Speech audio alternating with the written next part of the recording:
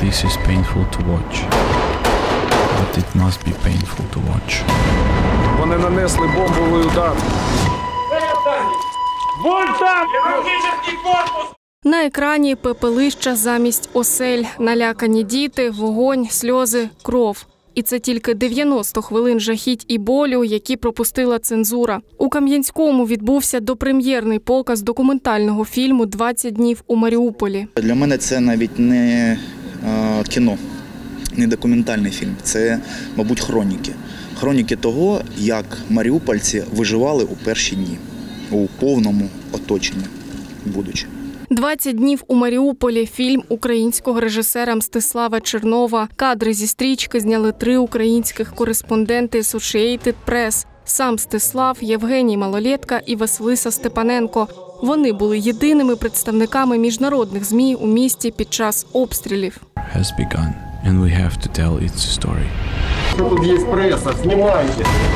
Фільм про перші дні великої війни у Маріуполі, про звірства росіян над дітьми, жінками, ні в чому невинними людьми.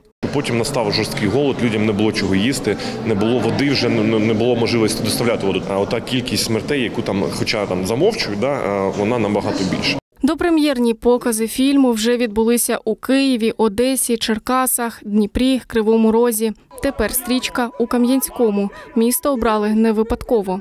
Маріуполь стояв 86 днів. За ці 86 днів наша країна, будь-яке місто, мали змогу підготуватися до того, через що пройшли ми.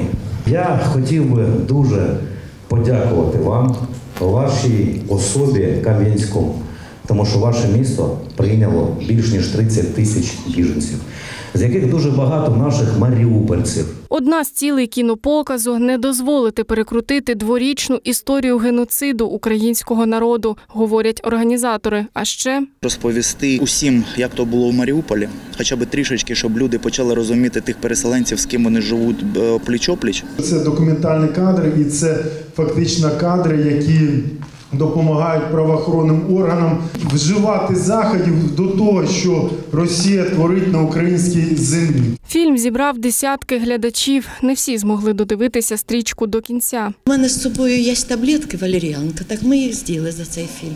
Ці таблетки, тому що це враження. Ну ми жили в цьому. Ми дивились, ми слідкували за новинами все весь час. Начебто вже знаєш про всі ці звірства і про всі ці жахіття, які там відбувалися, але все рівно дуже тяжко. Я навіть виходив, бо нервова система трошки, так сказати, моя не, не витримувала. Стрічка «20 днів у Маріуполі отримала низку престижних кінопремій та номінована на Оскар. Побачити фільм у кінотеатрах інших міст України глядачі зможуть за планом уже в березні.